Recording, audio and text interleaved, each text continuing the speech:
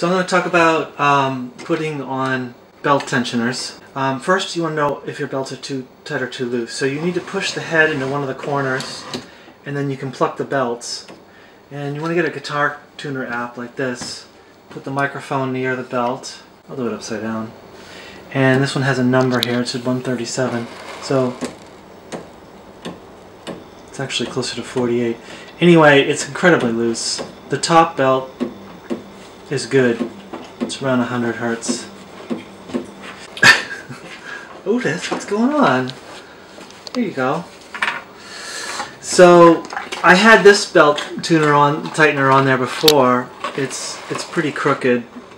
Um, it was straight, but it's PLA, and after a year, it got bent. So I'm going to use one of these spring versions. You can get them from my store. I'll put a link up. They come from clothespins, but uh, you can get them on my store. Oh, by the way, you want to feel the friction, because if the belts are too tight, sometimes this friction will go up significantly.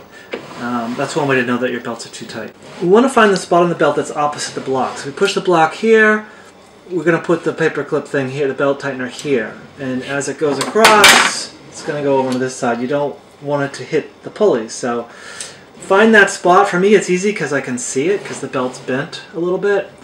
Um, so find that spot and you can move things around so that it gets easy to put this on. But it gets tricky. So anyway, it goes on like this. I like to grab it near the hook here. Go over. Urgh. Put it on like that. I made it look real easy. The first time it took me like 10 minutes. It's, it's harder than it looks. Um, it's okay to bend it sideways, upside down while you're doing it. Um, I find that gripping it either by this corner or by near this hook, right about there, is the best. Let's check the frequency. I can feel it's much tighter. Oh, put in the corner. Yeah, it's 80, 80 to 100 hertz.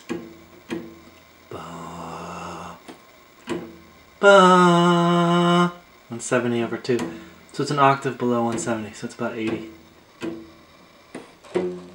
That one's even higher. 110. Da, or maybe it's 180. I don't know. Anywhere between 100 and 200 hertz is good. So, all done.